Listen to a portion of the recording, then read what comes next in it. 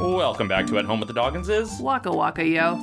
Uh, it is Friday as we were recording this. Muppets Haunted Mansion came out today, and we've already watched it twice. Mm, Yep. and uh, yeah, we loved it. Yeah, it was wonderful. Okay, episode over.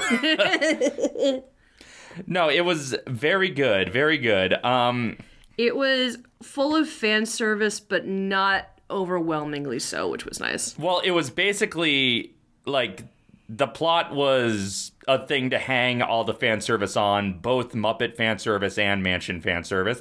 I am assuming that most of the people who support us, like the types of people who support me on Patreon, will have watched this by the time this Fully. episode comes out. Fully. So, but just in case you haven't, we are uh, getting into full, full, full spoilers here. Uh, but yeah, I've been excited for this ever since it was announced. My one sort of trepidation going into it was like when they just announced the title and not much else about it, like the mm-hmm. title and that it was happening.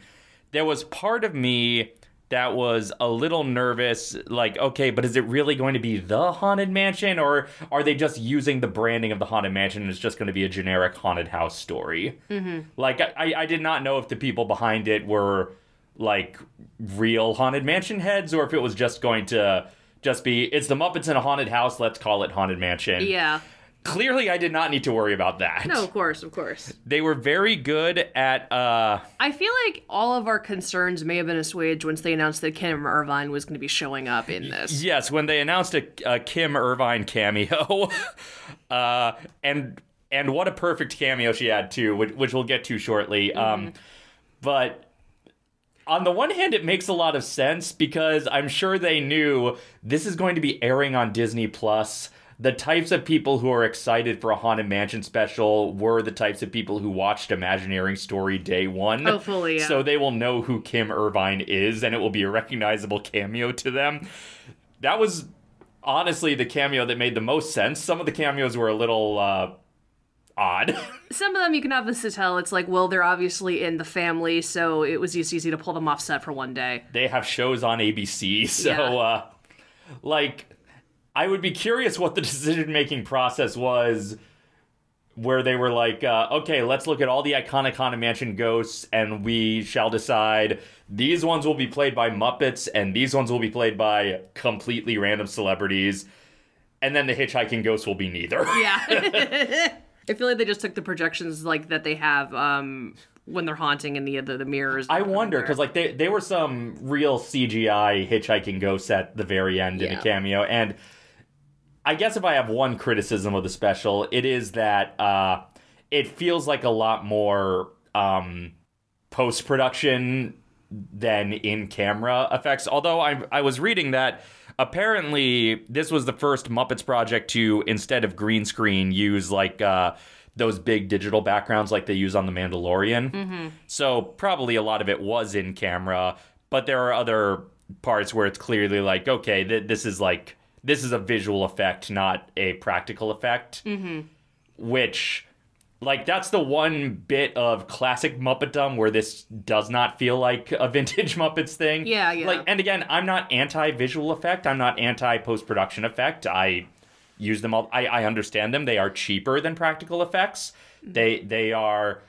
And there is like a time and a place for them. It's not like, you know, like when they're used for their time and the place, they can be spectacularly effective. And I don't necessarily think they were poorly used here. No, no. I just think that's like the one criticism I think a person could make of like, well, if this was a Jim Henson era Muppet project, they would have found a way to do all that in camera, Yeah. which may or may not be true because I think if Jim had lived to today, he'd be doing amazing stuff with uh, digital vi- uh, visual effects and everything. Oh, fully, yeah. One of his last major projects was a 3D real time CG puppet. So, other than the use of CGI and stuff, in like in terms of the characterization and the humor and everything, it felt very classic Muppets, and it felt very classic uh, Haunted Mansion. Yeah, it, it was like two great tastes that go great together Yeah. just piling on fan service for two of our major fandoms. Uh, like, honey, is, is Mansion your favorite Disneyland ride? I would say so, yeah. and it's it's in my top five. These are not hot takes. yeah, yeah, no, it's it's it was I think the when you took me to Disneyland for the first time, even though I had been on rides before, it had been many many years since I had been to a Disney whatever. I think you smartly figured out that the Haunted Mansion would be a good practical first timer for me, and it was really it really captured my brain in a big way. I mean, we have a coffee pod holder that is uh, themed after one of the tombstones from the front yard of the Haunted Mansion, which just kind of says something about yes, and uh, you're the one who purchased that on yeah, Etsy. yeah. a a 3D printed um yes. Uh and of course we're both big Muppet fans, so two of our fandoms being serviced very well in a in a fell swoop. And it was great whenever there was a moment where it's like here's the things you like from both of these things together in one place.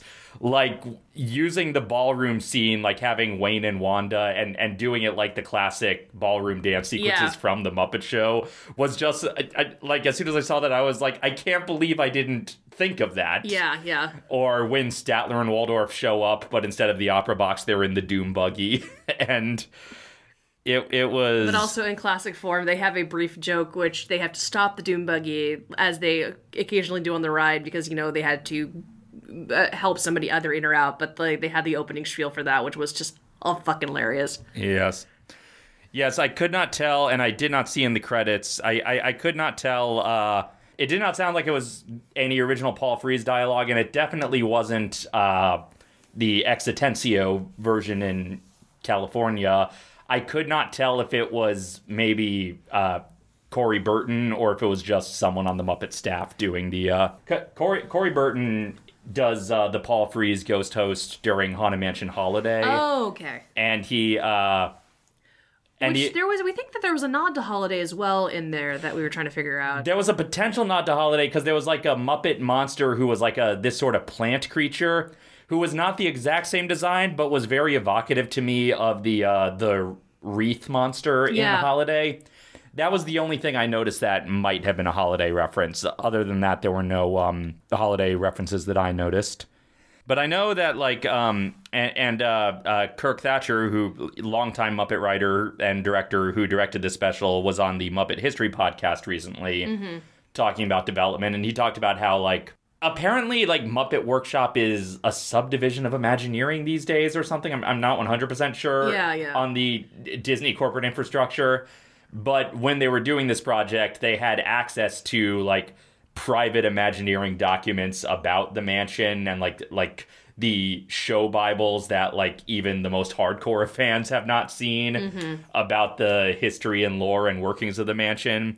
So yeah, I should not have worried that uh that that it wasn't going to be haunted mansiony enough. Uh but you know, I, I I didn't know all the details going in. I I would not have put it past Disney to just put two names together, but not really uh, do either one justice. Because you know, Muppets are often not done justice by Disney. Yeah. Um, like, I think we both enjoyed Muppets Now a lot, but not a lot of it has really stuck with me. Uh, the cooking segments are the only ones that I can, like I will think back on really because I think it, it kind of hits some of that like well, it's it's hard not to fuck up the chef Yeah, specifically. Swedish Chef and Beverly Plume. That that that's uh those segments are fun. Yeah, and like I loved The like- use of Uncle Deadly for uh, Miss Piggy's like you know uh, tips and stuff like that. Yeah, I liked the I liked the general conceit of the uh, lifestyle with Miss Piggy and just the random detail that her best friend is Linda Cardellini. Yeah. like I liked the show a lot, but I remember the recurring sketches. I don't really remember individual moments from the show very well. And maybe if I rewatched it more, it would stick with me more. But like I liked Muppets Now. I just there was something that felt very uh ephemeral about it, I guess. I mean, you you can very much tell this was designed specifically for pandemic viewing, basically, and I feel like you know that was the thing that kind of shadowed over everything else, really. it was I can't, I can't put my finger, and maybe it's just like the title literally is now, so it's like here, like this is disposable entertainment, and it will not stick with you. I don't know. Mm-hmm. Yeah. But it's like I liked the um uh the ABC primetime Muppet series more than some people did. Mm-hmm. I don't think it was necessarily the best format for a Muppets series to do it mockumentary style, but I appreciated Like a try. well, it's like I think it was the best. We we talk about how like uh, the the real shortcoming of Incredicoaster is like Incredibles on a roller coaster is a fine theme for a roller coaster, but it's not the ultimate manifestation of an Incredibles ride. Yeah. And I feel like Muppets Primetime was like putting Muppets in a mockumentary is a great idea for a mockumentary series, whether or not it's the best version of a Muppets show. Yeah, it, it's it, it's always going to bon- drive me bonkers about the fact that I feel like you know we may be getting a bigger Muppets revival, and it's just because the fact that Chapek is apparently a huge fan of Muppets more than like anything else, and that just drives me up the wall. so this, Yeah, for all of his, Chapek probably said, "Hey guys, put this together for for this special." Although we know Chapek doesn't care about theme parks, so. no, no, absolutely. but yeah, uh, so this special, I think, like as much as I have enjoyed basically everything the Muppets have done recently, this was the first thing in a while that really felt like, yes, this is the ideal format for a Muppets thing. Yeah, absolutely. And I know like they've been trying to get together a Muppets Halloween special for decades. Yeah.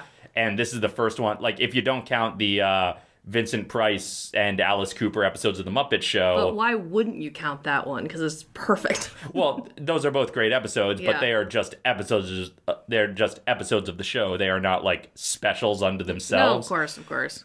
So like there have been like 500 Muppets Christmas movies and specials and this is the first Muppets Halloween special and it is a very good use of it. The other trepidation I had as we got closer to it is like okay, it's clear that they are actually using mansion iconography, so that's good at least. But I got a little nervous. I was like, well, they say they're writing three original songs, but are they not going to use the actual song? But uh, another one I didn't need to worry about. Grim Grinning Ghosts makes uh, it's only sung once as like a bridge of the uh, opening song. Uh, but then it's used in the score very effectively. Yeah. And I think all the other songs are written to feel like they're part of the same sort of piece as Grim Grinning Ghosts. Yeah. Uh, and I also feel like the most expensive thing for this special was licensing uh, the cover of Dancing in the Moonlight. God, yeah. But it was a good cover. It was It- a good. it was really a, was, It was a good Electric Mayhem cover. Another thing I've noticed about both Muppets Now and this, and some other recent smaller Muppets projects, is I feel like they're kind of downplaying Kermit a little these days. Mm-hmm. I don't know if they're downplaying him so much as giving everyone else time to shine. And I don't know if it's partly because they're trying to they're still trying to gradually dip us into the Matt Vogel Kermit. Mm-hmm. I'm I'm not sure. It's, it's like as long as he doesn't take up too much time, as long as we don't hear him talk too much, we can get used to him in small doses or I don't know. And here's the thing, I like Matt Vogel a lot. I really like his podcast Below the Frame. And uh I I realized during this like I think he is really good at uh overwhelmed Kermit at, at like the sheesh sort of side of Kermit, Yeah. like the sort of muttering to himself about how frustrated he is with everyone Kermit. Like the yeah, it was it was Piggy's idea. I, I think he has a better handle on that than he has of the uh hi ho excited Kermit. Yeah, yeah. Um but uh but that but that's just my take on it. I, I love him and I love his work. Gonzo and Rizzo get to the mansion. They meet uh Darren Criss, that musical Harry Potter himself Of course. as the caretaker who would have been played by Don Knotts in the Eddie Murphy movie, but Yeah. was cut before production. Uh, and he sings the song that is like it's basically turning all the rhyming gravestones into lyrics, which I thought was a fun way of uh, Very clever, yeah. yeah of, of of paying tribute to the mansion and its lore and like all the ghosts are celebrity cameos including uh, ed asner Yeah. rest in peace um celebrity cameos who don't really do anything uh and then the singing bus show up to then uh, bring it over to Grim Grinning Ghosts, and they are even less explicable cameos. like like Pat Sajak. Pat Sajak, not known as a singer, and like it's all clearly post production effect. Like you see in the credits, like they're all just like basically like we did for uh, Haley as Leota in Tony's Haunted Mansion video. You know, they're just sitting in front of a green screen with the makeup and everything, and they Yeah. just put them in the scene. Like, yeah, Pat Sajak, not known as a singer. Craig Robinson does do singing in his comedy, but like barely recognizable in the role Yeah. like Geoff Keighley, like he's like a games journalist. Like like Yeah. what what i- what is going on with these singing bus cameos? And like there was such an opportunity for the singing bus to either be Muppets or for them to be I don't know, like Dapper Dan's like the Eddie Murphy movie did.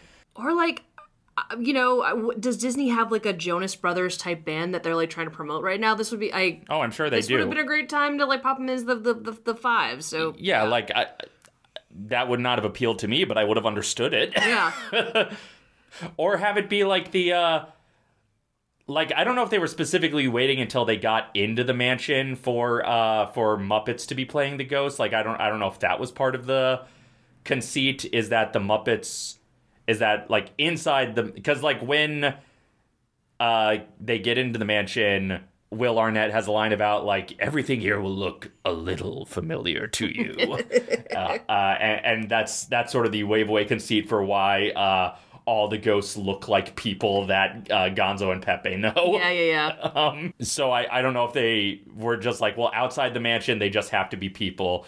So it's like the the ghost cameos, like a- again, like you, you got Ed Asner, good to see him, but he barely does anything. You you got you know Trejo always popping up in Muppet projects. Yeah, yeah, always behind bars. It seems like. You got you got Sasheer, you got Alfonso, you get you got like it's like I would like to see any of these people do something. like yeah, and, and I think you you you clocked it perfectly. It was like you could tell this was made pre-vaccine because everybody obviously was like shot by themselves and like Yes, uh, th- this was shot during COVID time, so like we saw the COVID tester credit, Credit. and, and it's like that's dystopian. yeah. Humans keeping distance from other humans, although I'm sure the Muppeteers still had to get very close to each other, Uh, but you know, I'm, I'm sure the Muppeteers are their own bubble right now.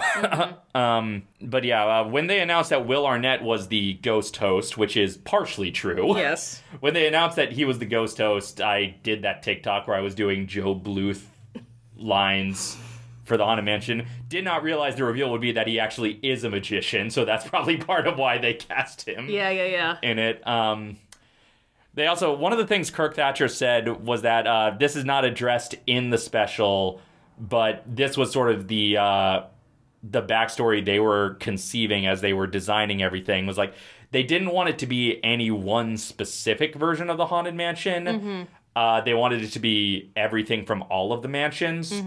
So basically, the conceit was that the same architect who built the New Orleans Square and Liberty Square mansions and uh, the Paris Phantom Manor, this was the fourth mansion that that architect built. Okay. So that's why like it was the same on the inside, but the exterior would be not any one, one specific. And, and like he said, they specifically did not want the special to be the Muppets go to Disneyland and ride the Haunted Mansion Yeah, yeah, yeah. uh, because Muppets uh, Go to Disney World already happened and it's not on Disney Plus. Ah, okay. Um, Now seems like a good time to pop it on there, friends. But I've you know. been I've been saying I said that on the D list. He also talked about how a lot of Muppet cameos show up both as uh, fan service and just as we didn't have a whole lot of a budget, so we have to use every Muppet at our disposal. Of course, of course. Uh, some of the characters don't really show up uh, in any noticeable way in person, but uh, like the stretching portraits, like Crazy Harry as the TNT guy was like a really, That's a good, good really one, yeah. good one. I, I like the quicksand guys being Link Hogthrob and Julius Strangepork and the uh, the Moopet Miss Piggy from 2011. Oh, very nice. because like I when I saw them stretching, I was like, is it just going to be all the pigs in space? But wait, Piggy shows up in this later. So then the the reveal of having it be the Moopet one was pretty clever. Um, and I, I did not notice this, but uh, I did not notice this myself, but according to uh, Muppet.fandom.com, uh, the gargoyle candelabras that are in the queue were uh, Mana and the Snowths. Oh, fun. Whi- which fun. I, I need to go back and look for that. Watch it a third time. Um, you're watching this for the fan service. Like, like, like that's Yeah. that's why you're watching this. You're watching this because you like the Muppets and you like the Haunted Mansion and you want to see all your friends do all your favorite scenes from the ride. exactly. And it delivered. Might have delivered a little more if uh, they had been more creative with the singing busts than just have random famous people be them. But uh, you know who would have been good Muppets to be the singing bust is the um the although I don't know if they can use these characters anymore, like if there's likeness rights issues. There's that like Muppet Bluegrass Band who are Muppet versions of Jim and Frank and Jerry. oh yeah, yeah. Uh, cause like they they use they saved Electric Mayhem for the instruments in the Madame Leota room, which which was great. Oh, yeah, like that was great. But I, I was trying to think of other like singing Muppets who would have been good for the singing bus. Of course, they they probably retired the Jim Muppet. uh, they don't want anyone else doing his voice, Mm-hmm. No, probably. But uh, I mean, probably Brian, but that would be the only one I think they would let do the Jim voice. But Well, they brought they did bring Brian back to be uh, Salmonella and uh, Dr. Van Neuter, so that was that, that was nice that Brian got the special appearance credit. Mm-hmm. Um, it's also nice like Dave Goelz is the longest running Muppet performer, so it's always great that he's still at it and still when he still gets a chance to shine. And this like even though it's mostly gags and fan service throughout, it ends up being a much better for my money, a much better gonzo centric story than Muppets from Space was. Like, because like Muppets from Space was like, you know, oh, lonely Gonzo uh, finding out about, like, it was answering questions we didn't want answered about Gonzo. yeah, yeah. Always bugged me about it. Like, there are there are things I like in Muppets from Space, but uh, just on a central conceit level, I'm I take issue with it. But this addressed that like like this basically addressed that uh Gonzo is the whatever with no fear. So what is the thing he's scared of and like what drives him to keep doing this? And I thought that aspect of it was like it was kind of shoehorned in just to give this thing a resolution in some ways, Yeah. like just, just to pretend this had structure, but it was still like handled more interestingly, I thought, than Muppets from Space. What other great cameos we got? Uh, Ralph as the organist ghost, of course. That was a good one. uh, Uh, Lou Zealand as one of Constance Hatchaway's uh, departed husbands. oh yeah, a, a lot of uh, uh, Constance. Taraji P. Henson, just in general, was fantastic as uh, Yeah, Constance. Taraji P. Henson, which uh, like her design was the current version of Constance, but they kept like the the beating heart from the older, scarier bride, which I thought was a really nice nod. Mm-hmm. Yeah. There was also there was an appearance from a character who we could not tell if it was Rizzo or not. Yeah. Because in the credits there was just ballroom rat, and I, I forgot to I forgot to uh, keep track of who played ballroom rat. Um, but when the rat talked, it sounded like Rizzo. Yeah, kinda. But uh, obviously, you know, Steve Whitmire is no longer with the Muppets, and that's the other thing. Like, if this was early '90s, it would have been Gonzo and Rizzo in the mansion instead of Gonzo and Pepe. But uh, When did the shift from Gonzo to Pepe happen, would you say? So Gonzo and Rizzo were like the duo for a long time. Yeah. Because they were they he was the one in in, in in Christmas Carol, right? yes in Christmas Carol they were the, the co-narrators, and in uh, Treasure Island they were uh, Okay, yeah, they yeah. were a duo in that. And then even while Steve Whitmire was still around, like Pepe first appeared I think in Muppets Tonight, and then really was kind of either stealing the show or being forced into the spotlight, depending on who you ask, in Muppets from Space. And like Gonzo and Rizzo were still the core duo of that, but Pepe had a lot of scenes.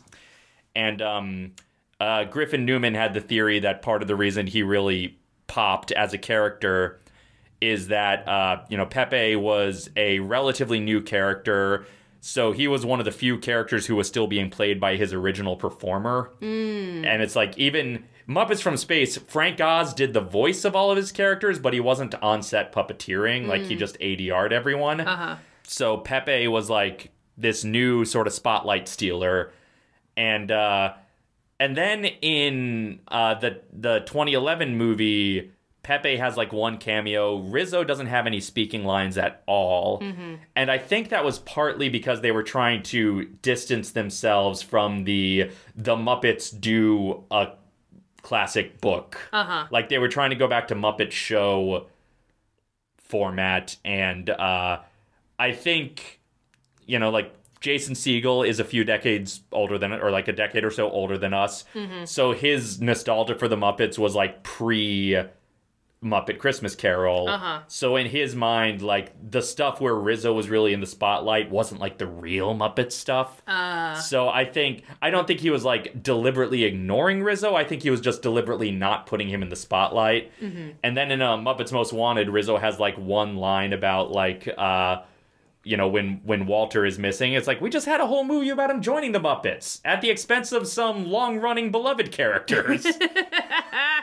but now that Steve Whitmire is no longer with the Muppets because because Steve was Rizzo and now that he's no longer with the Muppets, I think they found a replacement for him, but they haven't really because like Rizzo has shown up in like crowd scenes, but they haven't really given him center stage. So I do not know who the current performer of Rizzo is.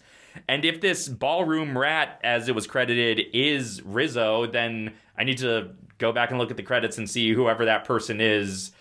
Like, I guess they're the new voice of Rizzo. I don't know. Yeah. Or the, or the new performer rather of Rizzo. I know I know Muppeteers uh, get sensitive about just being called the voice. Um, does it say on the uh, the thing yet, or I can't find because on Muppets fandom, if you click Ballroom Rat, it just goes to the general page for rats. Um, and IMDb does not have the credits posted in that much detail yet. I could also pull up the thing on Disney Plus and pause and, and, and, and go to the credits and pause it. So I can I can head back to that in a second. But um uh but yeah, a lot of cameos of Muppets both old and new cuz Yeah. cuz like yeah, they they had Wayne and Wanda. They had Marvin Suggs like playing Skulls, Yeah. which was a lot of fun.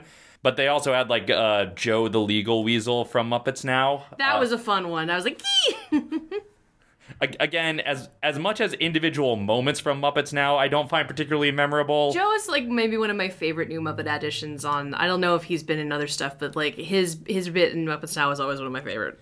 yeah, he, he he's a good like a lot of um let's see. And then other human cameos like so it it's a Disneyland project, so of course John Stamos was going to worm his way in here. Uh I don't like that man. uh accused creep John Stamos. Um it could have been just any the joke was just he's a famous person and Pepe's a star fucker, but uh yeah, his his scene is brief enough. His a lot of them are pretty. The human scenes are pretty brief. Well, and, and again, especially I, I, I keep harping on it, but the the the graveyard scene at the beginning, like uh, the human ghosts all come back at the end and each get like one last gag, but uh, but the singing busts don't come back, and and and so odd, so odd. And again, the hitchhiking ghosts at the end were all CGI, and that easily could have been another Muppet cameo, but it wasn't. Okay, so let's talk about Kim Irvine's cameo. Let's do it. So uh, I heard, I think you told me about Kim Irvine's cameo before I saw the announcement picture. And in the announcement picture, she's wearing, you know, the CM made uniform. Yeah, yeah, yeah. But when you just uh, said Kim, Ir- like Kim Irvine's going to be in Haunted Mansion, for a second I thought, oh, are they going to have her be Leota? That because she's done it before. I mean, that would have been solid, honestly. Uh, but but then I saw the picture. It's like, okay, no, she just works in the mansion. But still, that that makes sense. And of Yeah. course, when it was revealed that Miss Piggy was Leota, it's like, well, sure, of course, Of course, yeah. Like I have no objection to that. But the fact that Kim's cameo is in the Leota scene, it's it's it's like given Kim's familial connection to. Given that she is the daughter of the actual Leota, Yeah. and and the replacement Leota when they need new footage. she she's addressed by name by Miss Piggy, like Kim. Kimmy, like Kimmy. it's basically like she's credited as maid, but it's basically Kim Irvine as herself, Yeah. doing the mansion touch ups that she does in real life. Yeah. and she's just like, yeah, like yes, madam, yes, madam. It's like. The only way the cameo could have been better is if she like mumbled under her breath something like like Ugh, it's like taking care of my mother.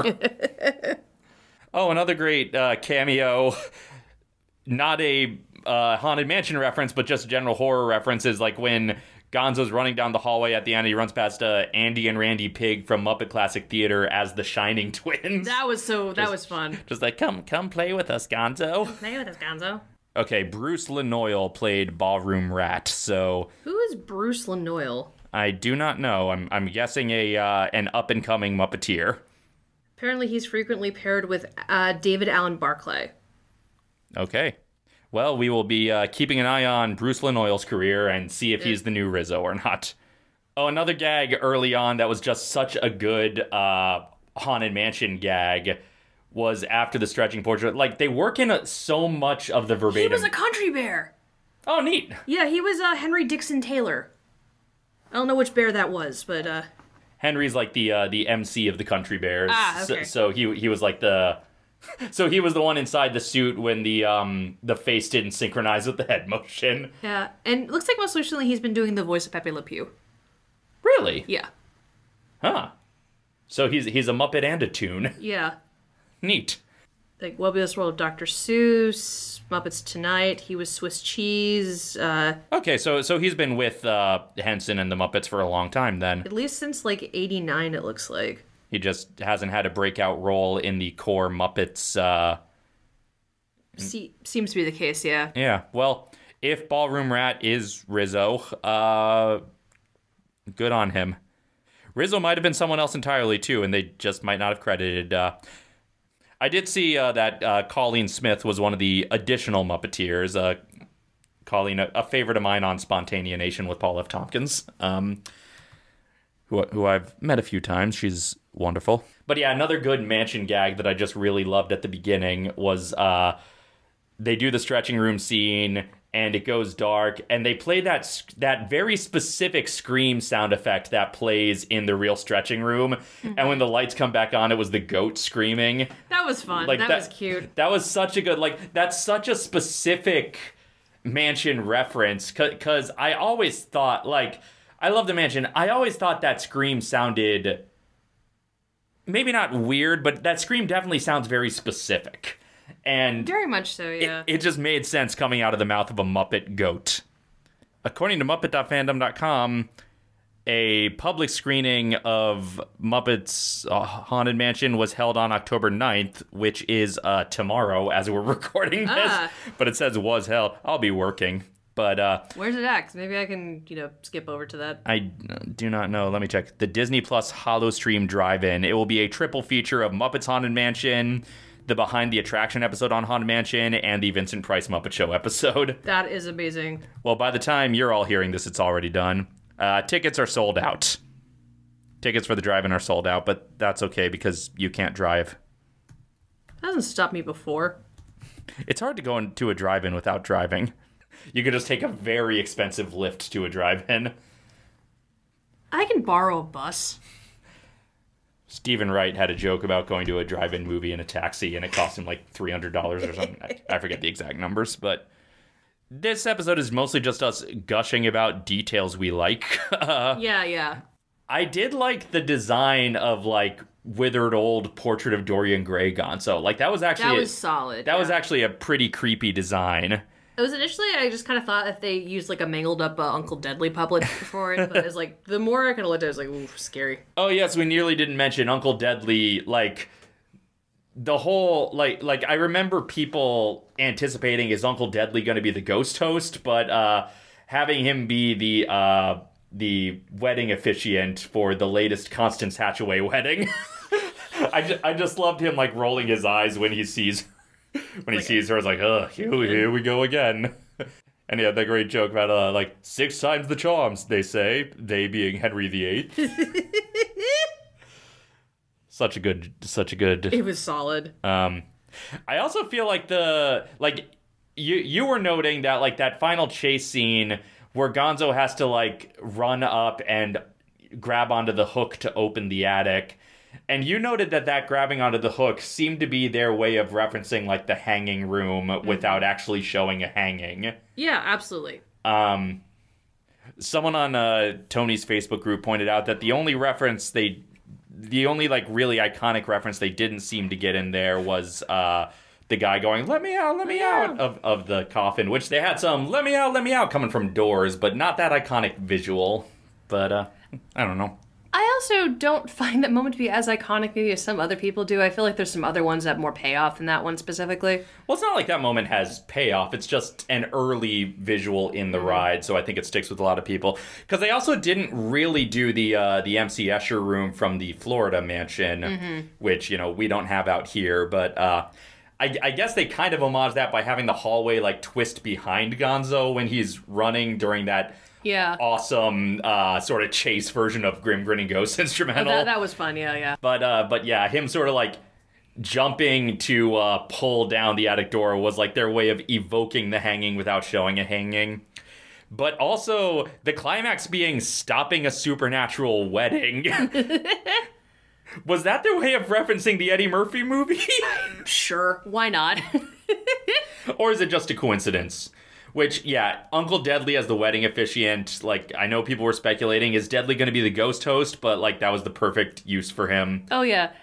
D- Deadly's good in small chunks, not in like larger bits. I, I feel, and this was just kind of perfect for him. Yes. Um, and then this does uh, fix some of the mistakes of the Eddie Murphy movie. First off, by having the ghosts stay in the mansion. Yeah. Even though they're not all seemingly happy haunts. Uh, but Will Arnett is a resigned to his fate haunt, Yeah. I guess. The Muppets all seem pretty happy in there. Mm-hmm. And, like, Walter just absolutely simping over Constance e- Oh, even yeah. after she murdered him. Uh, but the other mistake it ends is like I always rant about the the end of the uh, Eddie Murphy movie has that gag where they're driving to the lake and like Leota's with them and the singing Buster in the back of the car Mm-hmm. and it's like the last shot is driving away. Did you forget you have ghosts whose whole thing is hitchhiking? Yeah, yeah. So at least the final gag in this one is the hitchhiking ghosts. Uh, other than the post credits gag, that's Statler and Waldorf in the Doom buggy. Yeah. Uh, not saying hurry back, but they had Constance say hurry back. But the credits itself is just straight up the same as the 2011 movie's credits, except except instead of all dancing to Mahna Mahna, they're all dancing to Dancing in the Moonlight. But it it worked. It worked. I got to talk about the song in the ballroom scene. Yeah, yeah. Uh, cause like like I said, all the songs kind of feel like they were written to feel at home with Grim Grinning Ghosts. But that song kept dipping into, or that scene kept dipping into being a Be Our Guest parody. Yeah, yeah. Which I appreciated. Like, Will Arnett is like, as the dining room proudly presents your funeral, or, or, or whatever the line was yeah. and there are a couple of there are a couple of lines in there that are straight out of Be Our Guest, and even before they get to all of them, the scene with the rats is, is like uh, because because Will Arnett has a line about follow the candelabra. It's like yeah, but it's it's not French and it doesn't croon. We did that in a beastly cartoon, and uh, so it's like they they clearly deliberately aping lines from Be Our Guest, but musically it just sounds like Grim Grinning Ghost mixed with the Muppet Show theme to the point where like the end it's like I forget the exact final lines, but it's the same cadence as the "This is what we call the Muppet Show." Yeah, yeah, yeah. And, and it's like they're doing the pull out of like instead of them being in those little arches on the Muppet Show set, they're in the arches on the balcony overlooking the ballroom, which was again just like two fan services for the price of one, servicing two different fandoms. So yeah, I was happy with this. I was I was satisfied with it. it it uh it did the things I wanted it to do. It pressed all the buttons. It did the man. It had the Muppets and it had the Haunted Mansion, and it treated both of those things better than some other iterations of those things treat them. Agreed. Uh, it felt very in keeping with the spirit of both properties. It was a perfect synergistic merging of IPs. you know, the kind of stuff I live for. Exactly.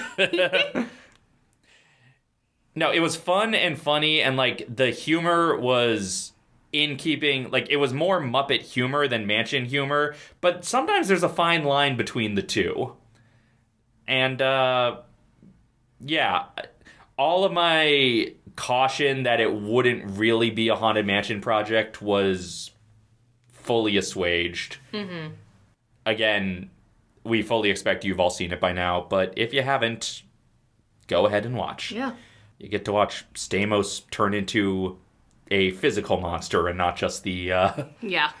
not not just the uh, alleged monster he is. yes. But yeah. also the other day, as we we're recording this, Miss Piggy was on Carly Wiesel's podcast to promote the special. Yeah. And uh, Carly asked her what other attractions uh, the Muppets should go in, and Miss Piggy was like, "Well, we did do a pirate movie." and uh, I would love to do have them do uh, uh, Pirates of the Caribbean like condensed. That would be wonderful. Muppets of the Caribbean. Yeah. They can reuse a lot of the uh, characters from Muppet Treasure Island. Yeah. Honestly, I, I will take Tim Curry over Jack Sparrow any day Yeah. these days. But obviously, the real. And you know how they could incorporate him is that they could have him be in the bed. There we go. Yeah. There we go. But obviously, the real answer is Muppets Great Moments with Mr. Lincoln, starring uh, Statler as Lincoln and Waldorf as John Wilkes Booth, Love it. just up in the balcony. And Fozzie as our American cousin. anyway, that's Muppet Haunted Mansion. It was fun. was very Go watch it. It's very worth doing. It's, it's not going to be leaving anytime soon, so you, you got time to do. yeah, it, it, it's going to be. I think this is going to be much like how Muppet Christmas Carol is an annual watch for me. I, I think this might become an annual Halloween watch for me. Absolutely, yeah. It's already been a twice in one day watch, and I probably Most will likely we'll do a third time today. probably will watch it again before the season is through. Yeah. Probably not today because I have to get ready for Scary Farm. Oh, but but until next time, this has been At Home with the Dogganses. Later days, y'all. Later days.